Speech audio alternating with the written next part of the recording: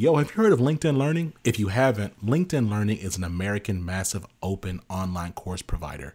It provides video courses taught by industry experts in a variety of subjects. Now, why am I sharing this?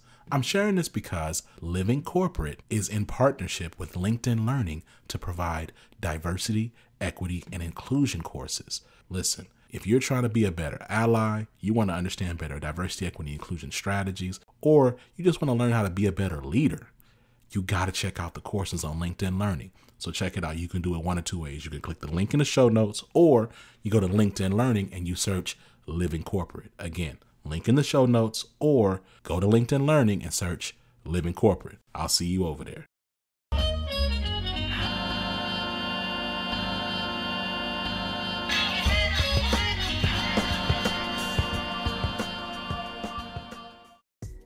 What's going on, Living Corporate? It's Tristan, and I want to thank you for tapping back in with me as I provide some tips and advice for professionals.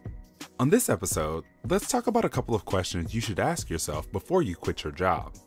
The trend, known as the Great Resignation, where employees are quitting their jobs voluntarily as work life returns to something near normal, has taken companies by surprise. In August, 4.3 million, or 2.9% of the entire workforce, quit their jobs. If you're considering hopping on the trend, there are a few things you should ask yourself. The first question is Can the problem be fixed? Before you can answer this question, you have to actually know what the problem is. Why do you want to quit your job? Are you not challenged enough? Do you not get paid enough? Is the job too demanding? In every job we take, we will have moments of unhappiness and dissatisfaction, but is the problem you're running from big enough that it can't be fixed?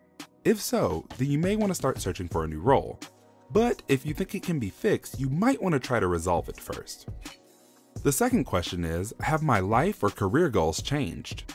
The pandemic has forced many of us to reconsider our priorities. Maybe you don't want to commute a long distance or work long hours. Maybe you want to work remotely. Maybe you want to do something completely different.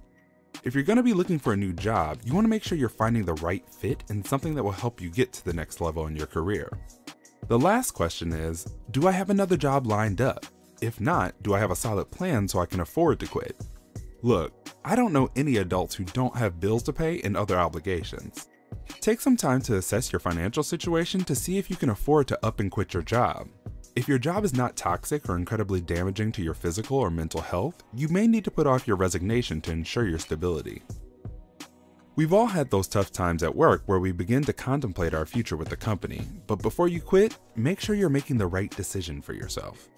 This tip was brought to you by Tristan of Layfield Resume Consulting. Check us out on Instagram, Twitter, and Facebook at Layfield Resume, or connect with me, Tristan Layfield, on LinkedIn.